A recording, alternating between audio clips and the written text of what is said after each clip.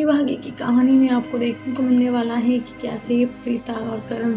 दोनों की मुलाकात होने वाली है और इसी मुलाकात में ही सामने आने वाली सच्चाई और महेश को सही सलामत प्रीता लेकर आएगी लुथरा हाउस में, जहाँ प्रीता करने वाली है महेश का इलाज और लुथरा परिवार की नीयत और सीरत सब बदलने वाली है, जहाँ पृथ्वी का पासा नहीं चलेगा, बल्कि प्रीता की चलेगी जहाँ प्रीता प्यार के नाम पर सभी को ठीक करेगी और वहीं महेश का इलाज करेगी। जब महेश की हालत गंभीर है, क्योंकि महेश को बहुत ओवरडोज दिए गए हैं इन डोज की वजह से महेश के साथ बहुत बुरा हो रहा है। और आगे आने वाले दिनों में इसकी रिपोर्ट जानकर राखी के होश उड़ जाएँगे कल आगे के अपडेट जानने के लिए सब्सक्राइब कीजिए हमारा चैनल